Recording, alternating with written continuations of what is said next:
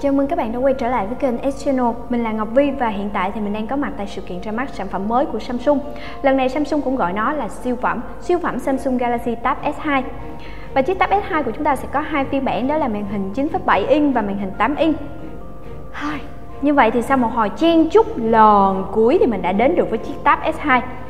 Bây giờ thì mình đã trên tay nó rồi đây. Ngày hôm nay thì Samsung đã nhắc khá nhiều đến thiết kế của nó và đặc biệt đó là độ dày. Nó chỉ có độ dày 5,6mm có thể nói là thuộc hàng siêu mỏng trong những chiếc máy tính bảng hiện nay.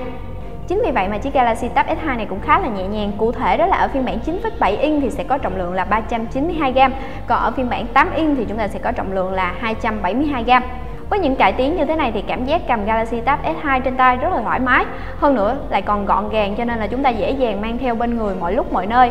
Và tương tự như đàn anh của mình là chiếc Galaxy Tab S thì chiếc Tab S2 này cũng sở hữu cho mình một khung viền kim loại sang trọng cùng với thiết kế nguyên khối. Tuy nhiên thì ở phần mặt lưng phía sau, Samsung lại không khẳng định đây là chất liệu gì.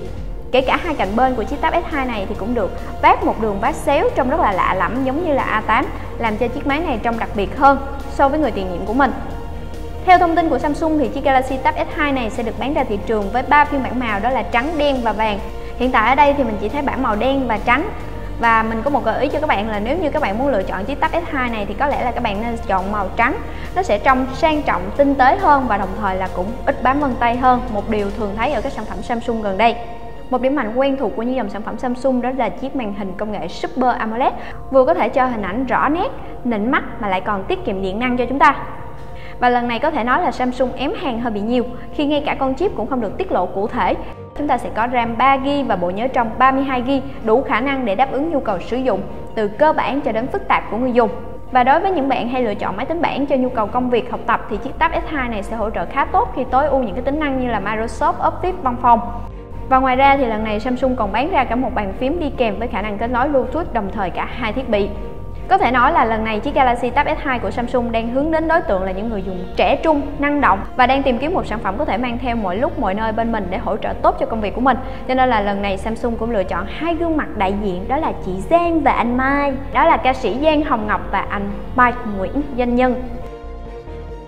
Và ở mặt sau của chiếc Tab S2 này thì chúng ta sẽ có một chiếc camera với khẩu độ f1.9 còn đối với các bạn thích selfie thì cũng thông tin luôn là camera trước của chúng ta là sẽ có độ phân giải là 2,1 megapixel một điểm cộng dành cho chiếc Galaxy Tab S2 này đó là mặc dù sở hữu bộ nhớ trong 32GB nhưng mà nó vẫn được Samsung giữ lại khe cắm thẻ nhớ ngoài. Và tất nhiên với việc kết nối 4G sắp được cung cấp tại Việt Nam thì chiếc Galaxy Tab S2 này cũng hỗ trợ cả kết nối 4G cho chúng ta.